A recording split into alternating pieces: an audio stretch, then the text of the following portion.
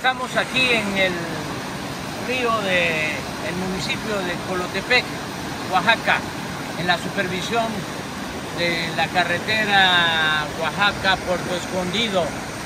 Esta estructura, este puente, se está construyendo, es parte de la supercarretera y me da mucho gusto porque conocí al papá de quien está haciendo este puente, don Nacho Rubio, caminero, eh, hasta ya eh, avanzado de edad, andaba en los caminos trabajando. Es un ejemplo de un buen constructor.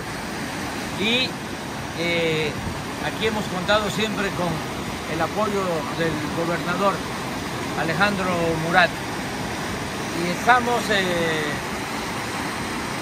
pensando, además lo que venimos supervisando todo el camino, si resolvemos algunas diferencias que hay entre comunidades por cuestiones agrarias, estamos buscando conciliarlos y se llegue a un acuerdo antes de que termine Alejandro, vamos a inaugurar esta carretera que va a permitir hacer de Puerto Escondido a Oaxaca, capital, dos horas y media, cuando ahora se tienen que eh, utilizar cinco o seis horas para llegar a Oaxaca. Este camino con todas estas obras, puentes, túneles. Eh, se inició, pero quedó inconcluso.